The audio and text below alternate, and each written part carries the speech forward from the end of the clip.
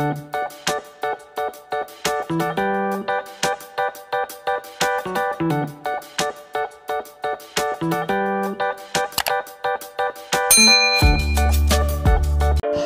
guys, welcome back to my YouTube channel.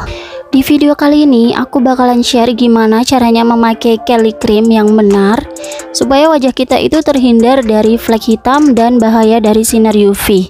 Nah, ini adalah penampakan Kelly Creamnya. Warnanya seperti itu tadi ya. Oke, yang pertama yang harus kita lakukan adalah kita bersihkan dulu wajah kita dengan menggunakan milk cleanser atau kalian bisa menggunakan remover atau micellar water terserah kalian. Tapi di sini aku lebih suka menggunakan milk cleanser. Ini aku pakai milk cleansernya dari Viva yang bengkoan. Nah, caranya kita oles di wajah seperti ini. Kemudian kita ratain ke seluruh wajah kita perlahan-lahan aja sambil kita relaksasi wajah kita supaya peredaran di wajah kita itu jadi lebih lancar. Aku suka mic cleanser karena memang kayak gini aku tuh suka merelaksasi wajah kita supaya wajah kita lebih fresh lebih seger gitu kan ya.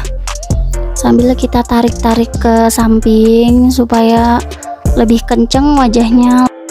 Oke selanjutnya kita bersihkan mic cleansernya tadi dengan menggunakan kapas secara perlahan aja bagian bibir juga aku bersihin.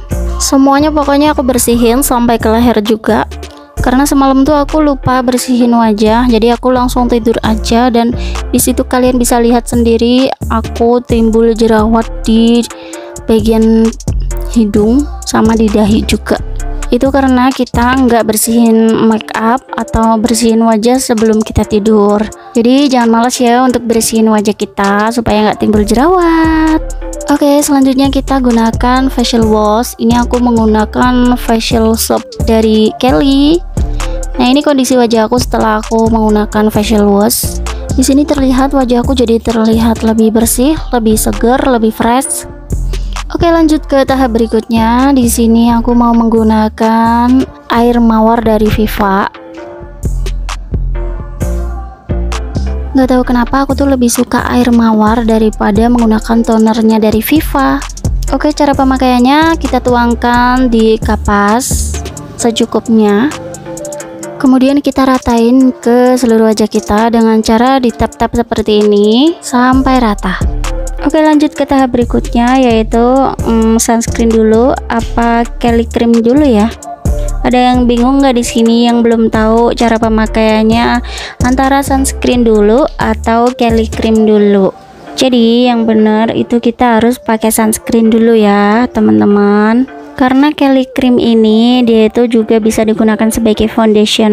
Jadi setelah menggunakan Kelly bisa langsung menggunakan bedak tabur atau bedak padat. Sama aja kalau kayak kita memakai foundation ya. Oh ya untuk sunscreennya kita pakainya dua ruas jari ya teman-teman. Kalian jangan takut kebanyakan nanti dempul atau gimana Karena sunscreen dari Wardah ini dia nggak menimbulkan white cast ya. Jadi dia nanti bakalan warnanya itu sama kayak kulit wajah kita. Dia akan meresap. Nah setelah sunscreennya meresap lanjut kita gunakan Kelly Cream. Nah, jadi Kelly Cream ini fungsinya untuk menjaga kehalusan kulit dan juga bisa untuk foundation dan menjaga kulit tetap halus, bersih dan bercahaya. Untuk cara pakainya kita cukup di tap-tapin aja seperti ini sampai rata ke seluruh wajah kita.